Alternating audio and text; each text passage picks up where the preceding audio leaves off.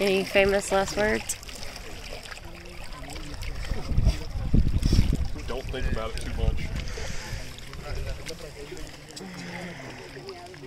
Okay, leave your pants on there, Maestro.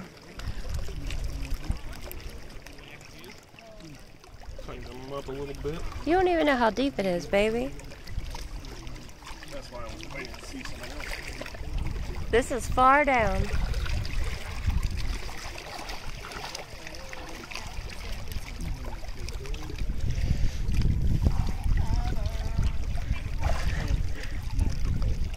You got chills. Yeah, of course I got the chills.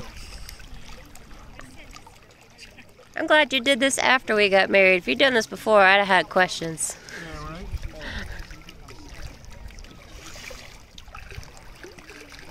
Go ahead, plunge it.